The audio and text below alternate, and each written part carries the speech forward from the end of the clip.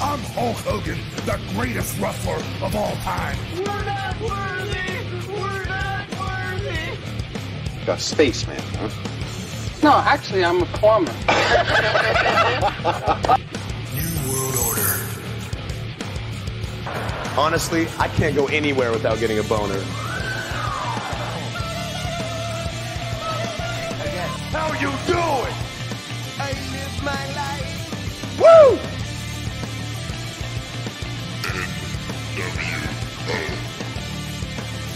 The Rock says, Sweet baby Jesus in the office!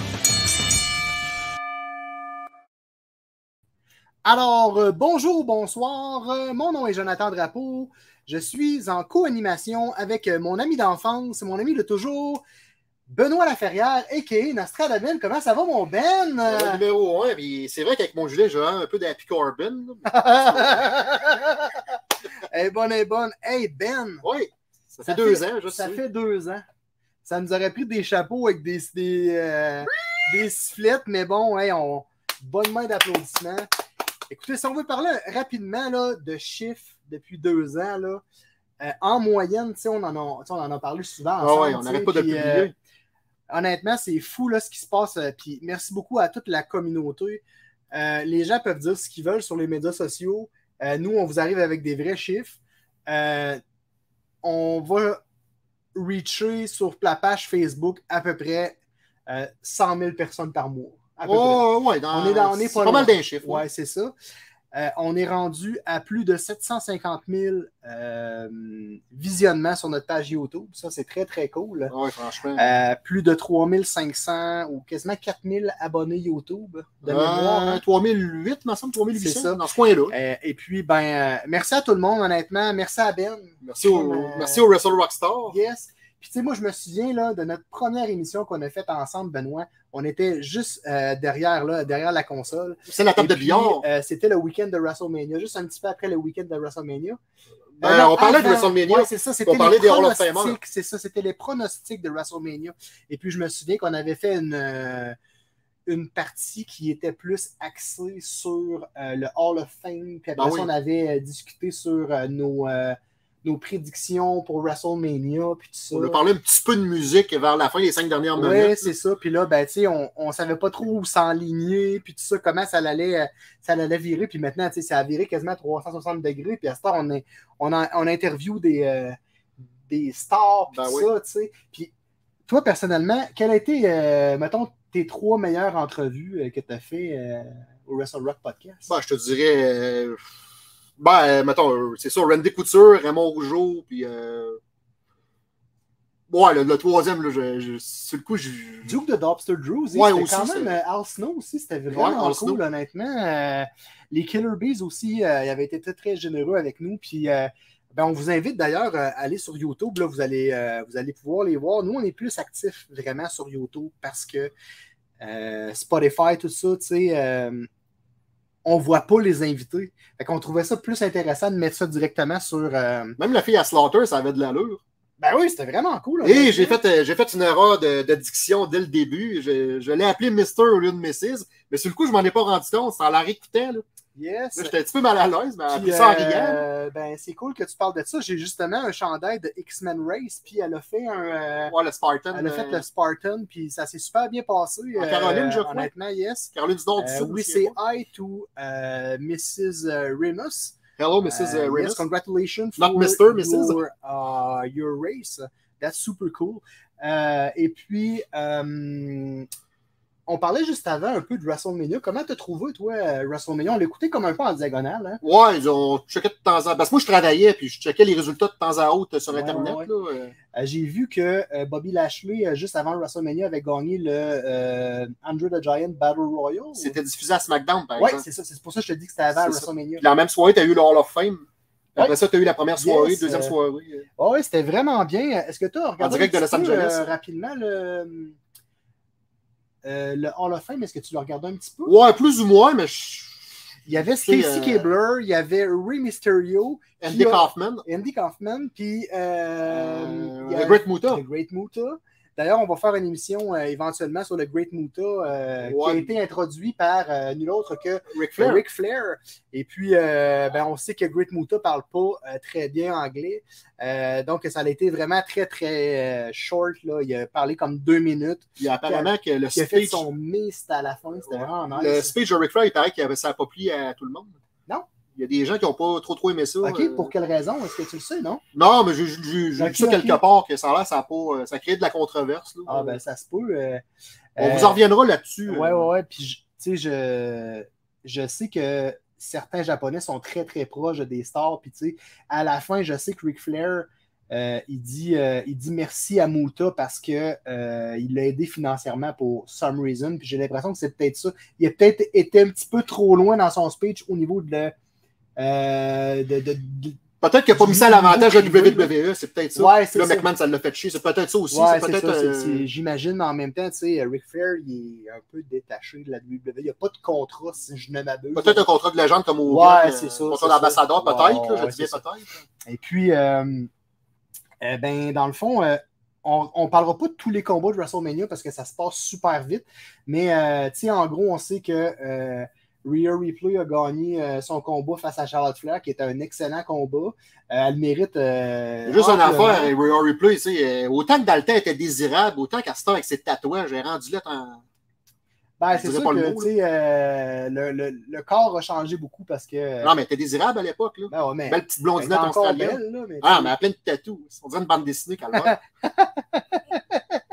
Et puis, euh, qu'est-ce qu'il y a eu d'autre aussi? Il y a eu Brock Lesnar. Brock Lesnar qui a encaissé un gros chèque de probablement euh, une coupe de millions, sûrement. Ah, Pour c'est 3-4 sûr. German puis un F5, mais ça, c'est Brock Lesnar. C'est Ben comme ouais, Goldberg, euh, comme. Ben ouais, avec euh, notre ami Homos, qui, qui a, qui a essayé de son mieux de prendre des, des German suplex, croche un peu. Tout pour mettre euh, Brock Lesnar over. Mais c'est- il y a un contrat de béton, ce gars-là. C'est, euh, Yes! qui dit euh, Brock Lesnar dit WWE et UFC. Yes! Tu voulais en venir, hein, parce que ils ont, euh, la, la société Andy Over qui, qui a. euh, qui a, qui a euh, voyons, euh, UFC, euh, qui est propriétaire de UFC, a acquis cette semaine la WWE.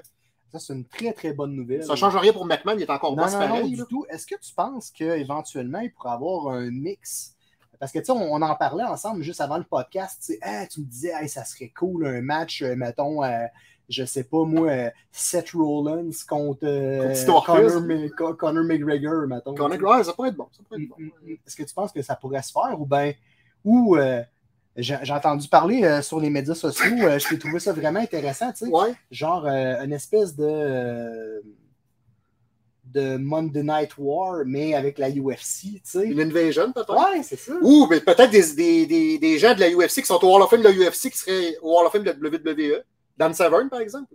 Notre ami Randy Couture. Randy pourquoi Couture. pas? Pourquoi pas, on ne sait jamais. Puis euh, on sait aussi que euh, récemment, euh, l'athlète complet Georges Saint-Pierre, notre athlète québécois, avait été interviewé aussi par la WWE. Et puis, Ouais, interviewé par quand Rougeau il était aussi. plus jeune, il, il expliquait dans le fond qu'il aimait beaucoup, beaucoup la lutte. Et puis que si éventuellement il y aurait une opportunité, Ben, j'y ça, souhaite du bien ça gros. pourrait euh, peut-être lui euh, euh, l'intéresser. Puis pourquoi? Ben parce que la lutte, c'est un mix de théâtre et de, de, de- de sport. Fait que dans le fond, euh, lui, il disait que il suivait des cours d'acting parce qu'il a fait euh, Captain America. il faisait de, Ouais, de il a Night- fait de- de- de Soldier, là, de, comment ça s'appelait déjà? The Winter Soldier. Ça. Se peut. Ouais, c'est ça. Et puis, euh, ben, il joue dans. Ben, j'ai pas écouté Captain. America, mais euh, je sais que dans le remake du Kickboxer, euh, il joue là-dedans. Ouais, c'est ça, ben c'est ça. Fait que c'est un peu à partir de là qu'il a pris des cours d'acting. Puis bref, il, il trouvait que c'était vraiment comme un mix, un bon mix entre les deux. Parce que WWE, faut, faut pas se le cacher, c'est souvent. Tu sais, l'idée de départ de WrestleMania, c'est de mixer des catcheurs, ben, des lutteurs, avec des grosses vedettes. Avec des stars, c'est ça. Tu sais, comme à WrestleMania 1, tu avais Cindy Lauper, Mohamed Ali, Liberace. Exact. Liberace qui est mort du sida, là, comme Ouais, j'avais c'est déjà parlé. Liberace, que je l'appelais parce que je Ouais. savais pas qu'il fallait Liberate, dire je Liberace, ouais, Liberace, c'est ça. ouais, c'est ça. Exact. Puis euh, il y en a eu plein. là, C'est Mr. T, Mr. T, Mr. T, c'était pas un lutteur à la base. Zeus, c'était pas un lutteur, c'était un acteur. Le C'est dude. souvent. euh, Tu sais, McMahon, il voulait. euh, il avait fait combat à finir, là, No Holds Barred. Ouais. Puis c'était avec, euh, avec lui. euh, Avec Hogan. Oui, exact, exact. C'est un, ex- c'était un excellent com- pas un combat, mais un excellent film. Puis je trouve que c'était vraiment intéressant parce qu'ils ont moussé la lutte puis le film en même temps. Ben, c'est ça, parce que c'est ça, son personnage, Tony Lister, son vrai nom. Ouais. Et c'était- ouais, il est mort de la COVID, malheureusement. Paix à son âme. Yes. Euh, Hogan, c'est ça, c'est Combat à. Il faisait vraiment le personnage de, de Zeus dans Combat à finir. là. Ouais, c'est ça. C'est comme s'il sortait du film, puis paf. euh, Oui, c'est ça qui s'en allait sur le ring à SummerSlam 89. C'était un real euh, wrestler, wrestling character, c'est ça. C'était plus grand que nature, là, je trouvais ça vraiment intéressant. Et puis, juste avant, on parlait de, de Québécois. Est-ce que tu voulais parler un peu de la lutte québécoise? Ben, je veux parler de la lutte québécoise, mais aussi, je, veux, je veux féliciter nos deux Québécois qui ont remporté le championnat euh, unifié de tag team de la WWE. Oui, C'est Sami c'est Zayn et Kevin point. Owens. euh, Yes, félicitations les félicitations boys. les boys. Euh, Kevin Steen et Rami, super cool. Continuez de nous divertir, yes, vous êtes yes, les meilleurs. Je me souviens, Krim, il était avec nous backstage dans le temps à Québec. Puis, tu sais, Des bien bons il y avait une. comment je pourrais dire ça? On savait qu'elle allait loin. C'est ça. Il y, a- il- y avait des, des, des skills puis, tu sais, beaucoup plus élevés que, que, que la moyenne. Puis, tu sais, euh, ça fait penser un petit peu à, à l'époque où euh, Sidney Crosby était euh, dans Pee-Wee. Puis, tu sais, les Oh, recruteurs le voyaient aller à 12, 13, 14 ans. Puis, ils disaient lui, le jeune qui est là sur la glace, il va faire la Ligue Ben, nationale. Wayne Gretzky, Mario Lemieux C'est aussi, ça le même ça. principe, tu sais, euh, c'est des naturels, puis ben, félicitations les boys. Euh, en plus, c'était le main event de WrestleMania quand même. Euh, la première soirée, La ouais, première c'est soirée, ont battu les Osos. euh. Yes, puis la deuxième soirée, c'était euh, Roman Reigns contre Cody Rhodes. Avoue que vous pensez que Cody allait gagner dans la game. Yes, hein? mais moi, je savais que Cody n'allait pas gagner. Puis pourquoi? Ben, j'en ai parlé tantôt. Ça J'ai l'impression que Triple H, il y a une dent contre Cody à cause de l'histoire des EW puis du Sledgehammer. Ben, s'il y a une dent, pourquoi tu l'as signé de bord? Parce qu'il vend des billets. Ah, c'est sûr. Il y a euh, Exact. fils d'une légende aussi. Exact. Mais c'est ouais, ça, c'est. ça. Ça se pourrait euh, les Rhodes, euh, ben, ça vend, tu peux, tu sais. Mais les Rhodes, là, comme, comme Dusty Rhodes, là, il était populaire à NWA, là, les territoires euh, NWA, il a toujours été bien populaire. WCW, Jim Crockett. Il est arrivé à WWE, ils n'ont pas fait grand-chose avec, là. Ben, ça fait penser au funk. Ouais, un peu aussi. C'est le même principe un peu que les funk. Bref, euh, en parlant de WWE et de vieux lutteurs, euh, il y a eu un scandale qui est sorti euh, juste hier à propos de la famille euh, de Guerrero, dans le fond, la famille Guerrero. On a publié dès, cette nuit, nous en avons ce publié. moment. Est-ce que tu veux en parler un petit peu? Ben, grosso modo, en diagonale. Ben, dans ce que j'ai lu, c'est que Sherry Lynn, la plus jeune des, euh, des filles de Haiti, parce que Shawl euh, est avec Hayden English dans la vraie vie, puis elle a fait NXT aussi, mais Sherry Lynn n'est pas impliquée vraiment dans la lutte. Elle, elle se serait faite, ben, selon ce qu'ils disent, abusée sexuellement par le, le beau-père. Ouais, ouais. c'est-à-dire le nouveau chum de, de Vicky. C'est ça, puis euh, Vicky, euh, elle aurait sorti publiquement, puis elle aurait renié ça, Ouais, ça aurait fait de la chicane. tout ça que ça veut dire. il aurait enlevé le message sur Internet, puis quelques jours, euh, quelques heures plus tard, il y, aurait, il y a quelqu'un d'autre qui aurait écrit un message. Euh, je me souviens pas c'est qui, là, vite de même. euh, Nous savons une chose, par exemple, c'est que Chavot, son, son cousin, là, une grosse vedette euh, Ouais. dans la lutte également, neveu d'Eddie, lui, il va toujours être là pour euh, supporter sa petite cousine. yes, c'est la famille Guerrero, c'est sacré, là. C'est... Exact, Tu exact. touches pas à des membres. Ben non, mais ça fait penser un peu à. Comme la famille Rougeau, tu touches pas à ça. Les Hart, tu touches pas à ça. Exact, exact. Et puis, qu'est-ce qu'on avait d'autre aussi? Ben, dans, dans le pipeline? Euh, ben, prochainement, on va faire une émission euh, spéciale sur Whitney Houston. Oui, bien sûr. euh, Whitney Houston qui nous a quittés il y a beaucoup d'années. Ça fait 11 ans. Ça a fait 11 ans euh, en février dernier. Puis je me rappelle de cette journée-là parce que c'était la première date que j'avais avec ma bien-aimée, que j'aime beaucoup, que j'embrasse très fort. Yes! Je t'aime, chérie. Et puis, euh, ensuite de ça, on voulait parler aussi du Monday Night Raw euh, qui s'est passé juste après le WrestleMania, qui s'est avéré un peu euh, catastrophique. Que Ouais, il paraît que dans ce que j'ai lu sur les réseaux sociaux, euh, selon plusieurs sources, euh, semble-t-il que Vince McMahon aurait changé le booking à la dernière minute et ça aurait donné des résultats pas très escomptés, disons. Est-ce que, est-ce que tu penses que c'est, c'est Vince McMahon? Puis, ma première question, c'est ça. Puis ma deuxième question, c'est est-ce que tu penses que Vince McMahon a fait par esprit pour faire en sorte d'avoir de l'attention sur Raw, un peu comme ils ont fait avec euh, la divulgation de la ceinture de Cody Rhodes, puis que Ouais. finalement, euh, c'est pas Cody Rhodes qui est. euh, Dans le fond, faire chier son de Triple H pour s'en remonter, là. On peut faire ça aussi, là. Tu sais, McMahon, à un moment donné, était un petit peu mis de côté. Du jour au lendemain, il revient la compagnie. Il sait que son genre fait, fait de travail exceptionnel, Triple H. Rien s'est toujours investi dans, ça. Autant dans les bureaux, autant dans, dans le booking, autant sur le ring, ça a toujours été une grosse. c'est- Moi, c'est un de mes, mes catcheurs préférés, Yes. personnellement. Il peut, il peut avoir fait chier. euh, Et puis, euh, en parlant de promoteurs et de, de propriétaires de, euh, de catch, de lutte pour nos amis français, Ouais, bonjour la. France. Bonjour la France. ouais. Euh, récemment, euh, en fait, hier, à Dynamite de EW, euh, Tony Khan a annoncé qu'il allait avoir un événement à Londres Oh! euh, pour, euh, je sais où déjà, le gros stade là, de Londres. Là, euh, C'est de Wembley? Wembley. Ben, le nouveau, c'est pas, pas stade de SummerSlam 92, Non, non, mais non, le- mais c'est le gros, là, celui qui peut à, à 100 000 personnes? entrer 90 000 personnes. Ouais, ben, c'est ça. ce qu'il y avait pour les Jeux de Londres en Ouais, 2012. c'est ça. Puis, Parce dans que le fond, vieux il a stade, annoncé euh, que ça allait se faire là-bas. Ouais. En fait, il n'a pas annoncé qu'il allait... Il a annoncé que ça allait se faire à Londres, dans un stade important. Puis Adam Cole a annoncé le Wembley, dans le fond. Euh, fait que ça risque d'être fort intéressant. Ah, t'as- tu écouté un peu Euh, dans la main? J'ai vu ça passer sur les médias sociaux. Tu disais que t'avais pas le temps le soir d'écouter. Non, non, j'ai vraiment pas le temps, mais euh, je regarde tout ça en diagonale. Oh, oui, je J'essaie de vous informer du mieux que je peux. Et puis euh, aussi, j'ai vu que Renee Young a interviewé rapidement. Et puis, cette personne en, en question vient d'avoir un contrat important. Euh, C'est euh, le champion de la I- l'ancien, le, le champion ou l'ancien champion de la IWPG.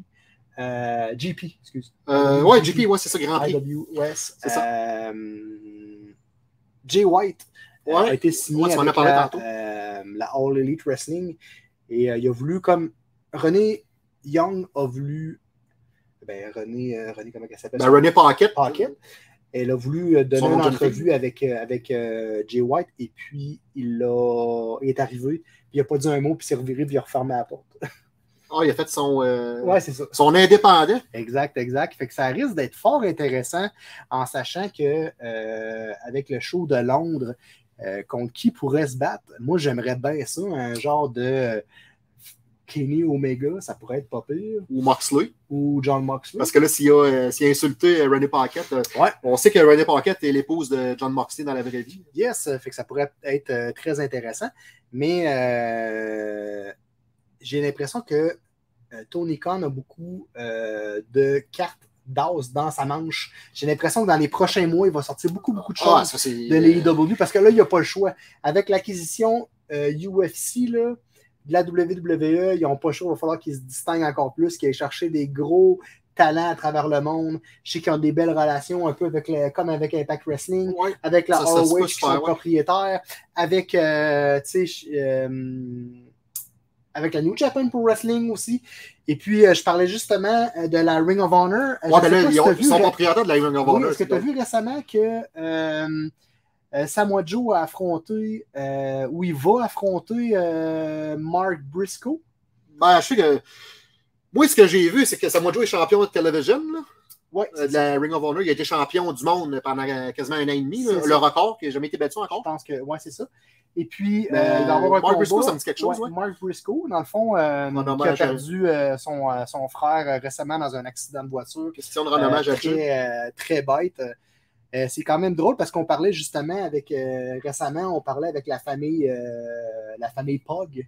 Pour moi, je parlais avec la famille Pog Ouais, pour ouais. avoir euh, les Briscoe sur notre, sur notre podcast. malheureusement. Et là, malheureusement, ben, on s'est fait couper un peu l'arbre en dessous des pieds, comme on dit, parce que là, euh, ben, ils veulent plus vraiment euh, discuter, puis c'est normal, ils doivent se faire achaler. Là. Parlant de décès, une affaire qu'on n'a pas pensé, euh, le malheureux Butch Miller des Bushwalkers. Exact. Il est décédé oui, cette oui, semaine. oui, il est décédé à l'âge de 72 ans. 78, ça en est 79, ouais, Ouais, c'est ça. ça.